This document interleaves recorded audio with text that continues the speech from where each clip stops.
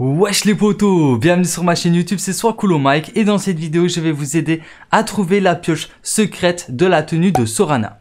Alors pour débloquer cette pioche, vous allez d'abord devoir terminer les défis de cette semaine et débloquer cet écran de chargement normalement.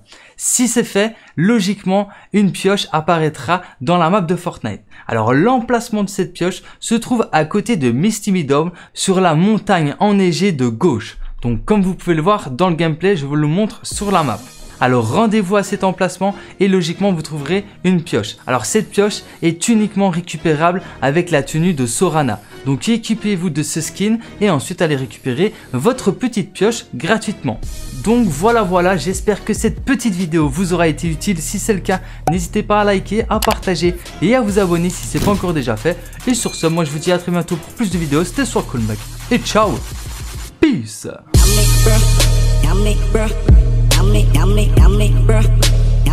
girl.